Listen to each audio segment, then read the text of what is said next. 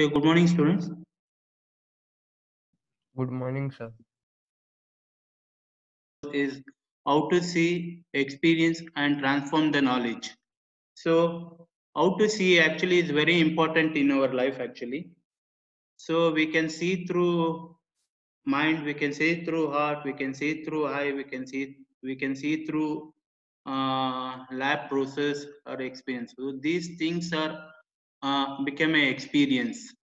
Once it become a experience, we can transform into the in as uh, transform this knowledge in a different language by using different tool so i see and i remember i do i understand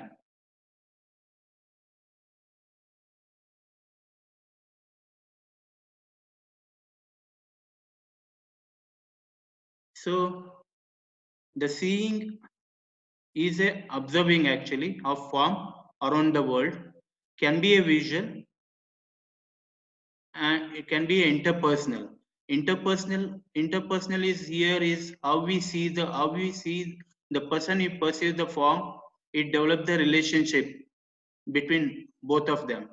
It could be a natural it could be a experiential learning. So each one of us will choose any form based on real life situations. So here situation is uh, uh, is a constant process in human life. So in different situation we see the different forms. We perceive in different context actually. And like around the world also we have many forms. Uh, we can based on situation we perceive that around the world forms. Even culture also we have many forms sometimes we perceive through culture also. And aesthetical also we uh, forms as a aesthetic. So we can perceive through aesthetic also. So learner will uh, learner will develop their notions in greater depth of chosen form. So here that uh, by uh, seeing a form they develop their ideas they develop their concept they develop their belief they develop their uh, values.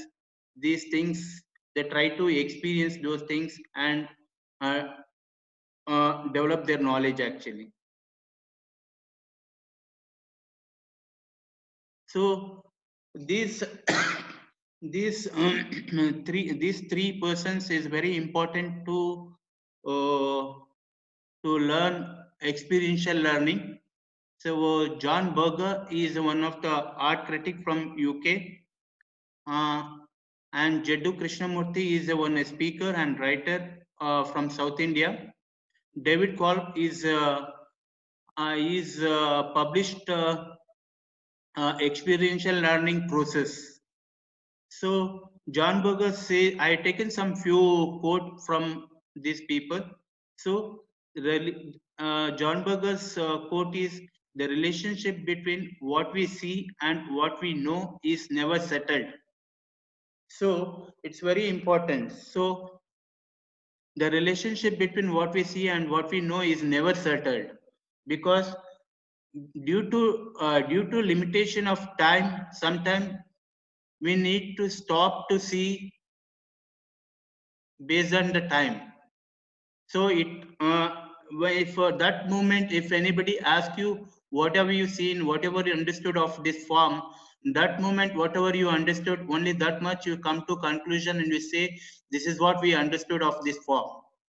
But if it, nobody asks you that if nobody nobody time uh, if uh, time limitation is not there if you are very passionate about that uh, form to experience it uh, form has its own uh, uh, unlimitedness. Once we perceive that uh, we go with according to the form try to understand the form. So we human have a limitations. When forms have not have a limitation. If you are very passionate we can go see as long as long we can get into process.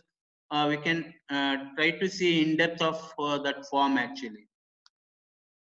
So another thing is uh, here Jiddu Krishnamurti say, uh, quote is if you establish a relationship with nature then you have a relationship with mankind. But if you not have a relationship with living thing and earth you may lose whatever the relationship we have with humanity with human beings. So this is very important here. So what he says if you if you have no relationship with a living thing there will be no scope for to perceive humanity so it's very essential to sense and understand the living things. So there will be a more uh, scope for that uh, like that uh, sense humanity. Humanity can be uh, it connected to history it connected to psychology it connected to geology it connected to the uh, uh, experiential it connected to many things. So it's a multiple things actually. So then only you can become a human actually. So david david Kolb says uh, quote is here learning is a process whereby knowledge is created through the transmo- uh, transformation of experience. So there is a step by step process are there to understand the knowledge. So that I'll, I'll explain later. So you have any uh, opinion and perception on this?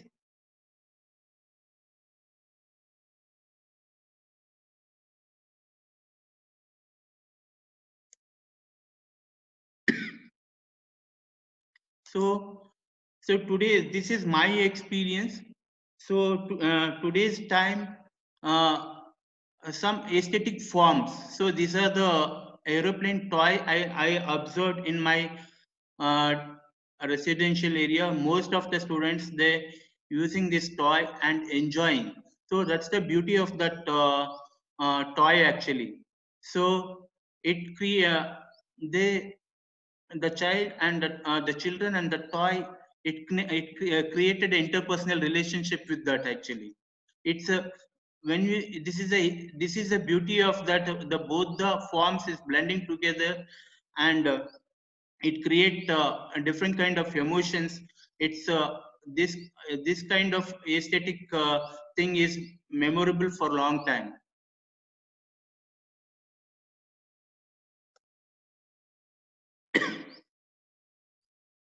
So this is uh, we can see here the pet is there. It's uh, there is a there is a one product actually Ventripo. So Ventripo is a product. It's a substitute of uh, motherhood for uh, small uh, pets actually. It's a very nicely. It's a very good product actually. So once uh, this puppy had that uh, product, we can see that uh, joy of that enjoyment enjoyment of once puppy he had that milk that one it is very aesthetic actually it's very memorable. This kind of uh, this kind of experience it will take it it will keep on carrying and it will be very remarkable and memories to enjoy the life. So art of seeing is very much important. There is a different types of way we can see actually. So if we see one way we can see the content or environment uh, this practice could recognize assumption. Whatever we see that's right. We come to conclusion actually. We will not see in another another perspective.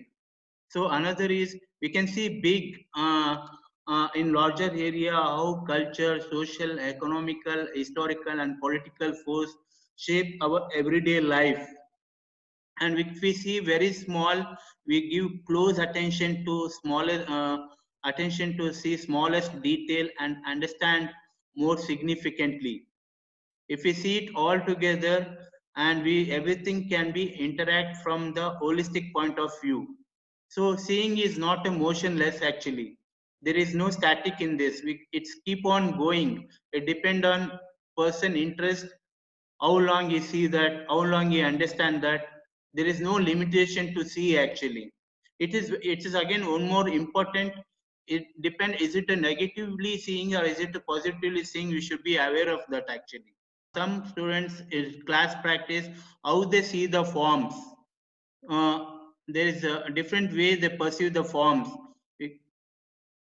in which there is a detail. Sir, here these small, small Okay. these nails. Really? Yeah, really. What do we call? Uh, it is a Medium, method. Low relief. Low relief, yeah. Yesterday. I. What material is that? Metal? No. Wood. Terracotta. No, fiber. Fiber. Fiber casting. A glass. Yeah. It is. It is a temple. Temple, yeah. What is a material? Marble or stone Stone. or clay. Sir, what material? That's the plaster of Paris. It shows a building and it again has a base. Yes, it signifies culture, Indian culture, Hinduism, Mythological creature. Mythological. Yes. How do you identify it's a mythological? Sir, because It's in- not real. Yeah, it is not real. It is something made up. Okay. And it is made up of wood. It's a manipulated uh, real thing. Taken a original form, they put their creative thinking in that, uh, that develop it in different aspect. Yes. It's a lion, no? So it's Sir, even it is broken. cultural, yeah. Cultural, I, I think so. I don't know. Yeah, it does signify culture. Huh. If you look that uh, sculpture, how visually it look actually? Looks scary Scary. Scary. and strange Okay. because we are not familiar with this creature. Okay. And even there's a lot of detailing. Yes. I think so. These are kept near temple. I think. Probably some mythological god with it. What god is that? Uh, don't know. The cow god. Varaha, Vishnu. Yeah. Mythological and it signifies culture again. The eyes It and is the high relief. And the material is not stone, I visible. guess. Yeah, stone. It is carved, right? Yeah, it's carved. Sir, but the eyes are not visible. It's It a low, visible. low relief. They made Yeah, a low yeah. relief. It's visible actually. Good morning, everyone. My name is Om Kakkad. I study in MYP2, and this is my visual art uh, criterion C. Uh, the unit name Are of my visual art was uh, Sorry, The screen is stuck. only for you, all of them. No, sir, it's visible. Uh, maybe network issue for you. still life. Uh, still life consists of uh, still life consists of different forms. Many forms together make a still life painting. The forms that are inanimate or not moving are used in still life art.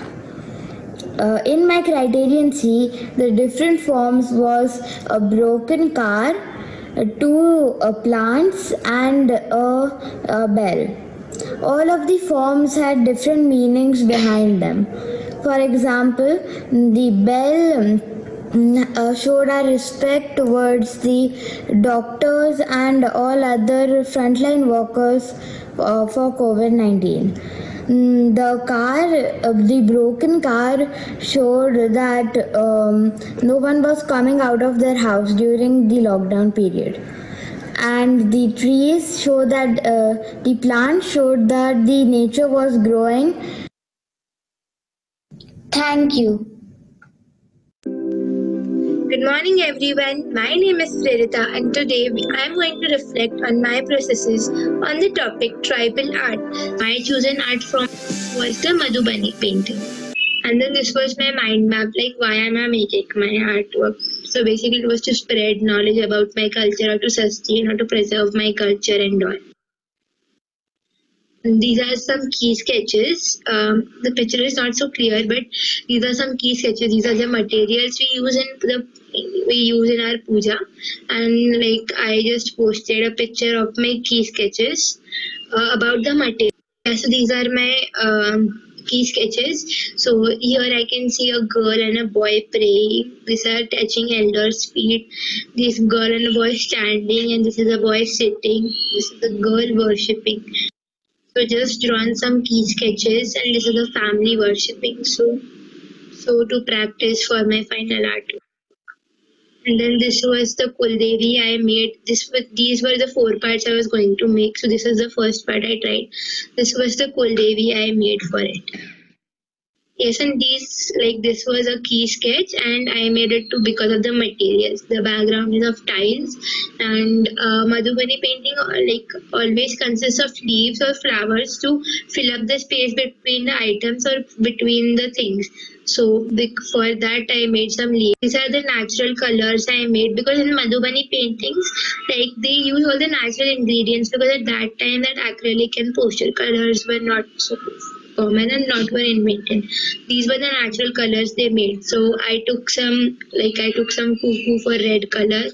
Then I mixed like this. I um I mixed this cuckoo with water to make red color and stored it in a bottle, small bottle. And then I made I took haldi with and I mixed with water uh, and like make made the yellow color. So these were uh, these was how I made the different colors.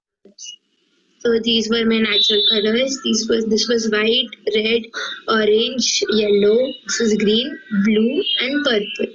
Yes. Yeah. So this was then my final artwork after doing all the criterions, and uh, then this was the first part I talked about. This is a Kuldevi. This is like we all eating and distributing the prasad, and this is about we touching our elders' feet and this is all about um, like eating uh, like the materials we uh, serve and eat to the god uh, serve to the god and eat so this was a design uh, like this is one design this is the second one this is the third one and this was just a border because Madhubani paintings consists of borders and as I told to fill up the space between the things so I just drawed some leaves So this is the next is how to establish a relationship with nature. So life is uh, physically, biologically, and uh, chemically uh, connected with the surrounding space. Can be excellent way reconnected with the nature. Contact act of engaging with nature is a sense of pleasure actually. The beauty, the engagement with aesthetic quality of nature, appreciating a natural scene or engage with uh, nature through different activities like that. Uh, meaning, using a nature or natural symbols, it represent ideas, uh, thinking about meaning of nature and sign of nature. Emotionally, it bond with that uh, love for nature, talking about that, reflecting on your feelings about nature. The compassion is uh, extending a self, include natures, leading to moral ethic concern of nature.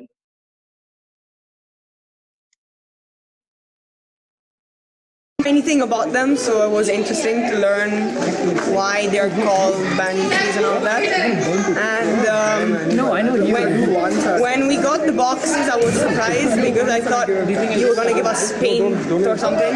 You know, you said that we were going to have to do something with art, so I thought we were going to get paint. But then we got this stuff, and I like how we all worked together to make something out of it. It was nice. I think that was the whole point of it. I don't know, but anyways, yeah. Well, I was pretty satisfied. I mean, it looks it looks nice. This is a river. We have a river over here in the middle that goes down to become an ocean. So, like the seashells are supposed to represent the fact that it goes from river to ocean. And then we have uh, a Okay, so this side is supposed to be civilization with the houses. This is meant to be a village, by the way. It's a village, and this is the rice fields. So this is like the civilized part of town of no, okay, not town of the world. And that's the uncivilized bit, the stuff that we cannot control. So there's nature with the fields and the flowers, and then there's death because we have two tombstones. So like it's the two sides of I don't know, but was it meant to represent like life in the journey, each planet, like the, each station of life? And then you come here, and these are the bar presents are supposed to mean like um, the result of your actions. And sometimes they're good, like the chocolate. Sometimes they're not that good, the rocks. And how even though it's not good and good, you can uh, end up making something out of it. You don't. Not everything goes to good. I know a lot of satisfaction. I know a lot about more about banyan trees now. Main thing is in working together as a team and how we actually didn't have a direction when we started and when, once we finished everything, it started taking shape, and now you can interpret it in so many different ways. And the kite can be us and our journey ended here. So, yeah. So, uh, David Kolb uh, experiential learning cycle is this actually. So, experiential learning is integra- integrated with uh, behavior, cognitive, and constructive, or holistically uh, express the learning process. So, behavior learning is uh, behavior learning include learning that change individual behaviors. It may encourage number of condition experience. It create behaviorally changes or response to stimulates. Uh, cognitive learning process is uh, always the cognitive learning process is uh, problem solving, organizing information, and create a framework. It happens actually. Constructive learning is whatever the knowledge achieved from behavior learning and cognitive learning. Uh, the student uh, construct their own understanding and reflecting on their personal experience and holistically Uh, learning process are presented.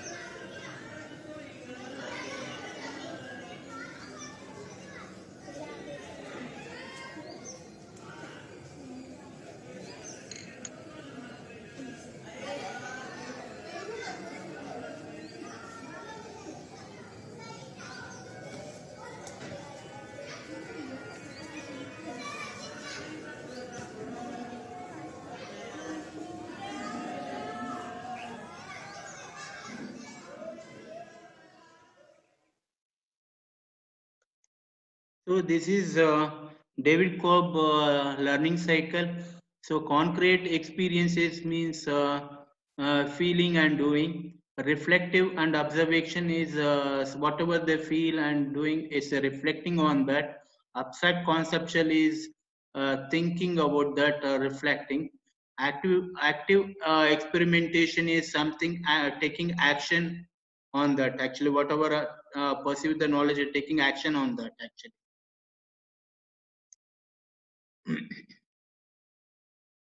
So here you can see uh, the learning style is uh, diverging, assimilating, conver- uh, converging, and accommodating. So concrete experience and uh, reflect observation. If we combine, it became a diverging, uh, diverging learning. It's more to extend in different direction of uh, from the common point actually. Uh, if we see this uh, assimilate is uh, reflecting observation and abstract conceptual. It uh, full understand, understand fully of the experience actually. So converging is meet all the point uh, whatever they understood con- uh, concrete experience uh, reflective observation and abstract this one it's all meet together converging actually converging. Uh, accommodate is uh, will will be playful and helpful too actually.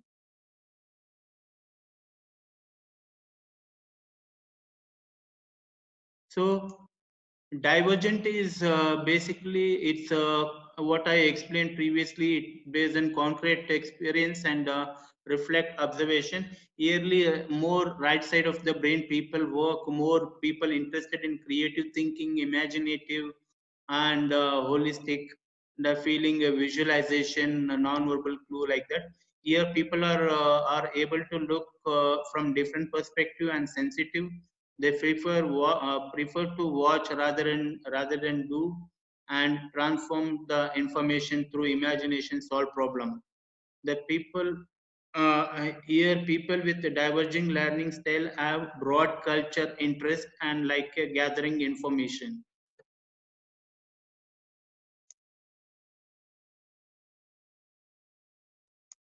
So assimilating is uh, reflective observation and abstract conception is the watching and thinking actually. here people are more given important to idea and concept actually.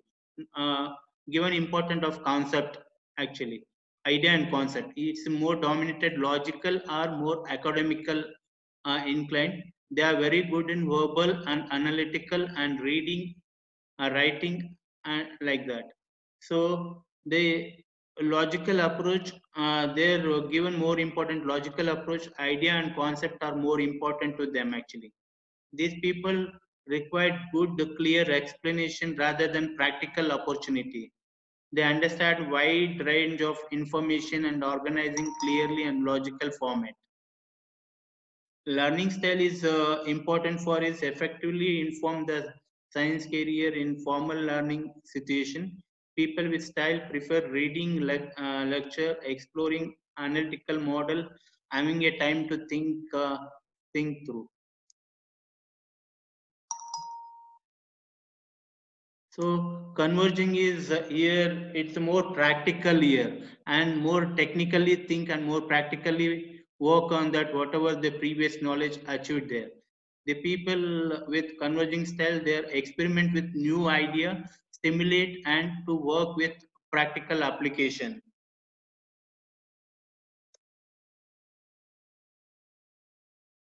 Accommodation is uh, active experience and concrete experience doing and feeling. its hands-on relief uh, accommodate learning style is hands-on and relies on institution rather than logic. These people use other people analysis, prefer to take practical experiential approach. They are attached to new challenge and experience and carrying out plan.